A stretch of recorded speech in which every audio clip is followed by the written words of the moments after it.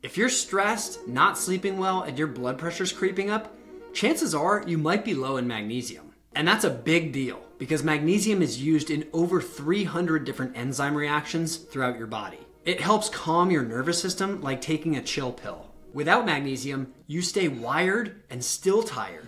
It also improves your sleep by helping your body regulate melatonin and GABA. So if your mind races at night, low magnesium might be why. But that's not all. Magnesium also helps your body regulate blood sugar. It keeps your insulin sensitive, not resistant. And it relaxes your blood vessels, which means lower blood pressure naturally. No meds required.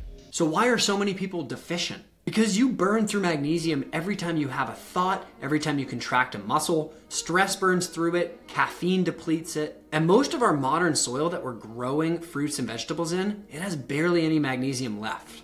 So if you think you're doing all of the right things but you're still feeling off, magnesium might be the missing piece. I'm not even here to hype it up. I'm just telling you, it's a really important mineral that your body needs if you're gonna feel your best.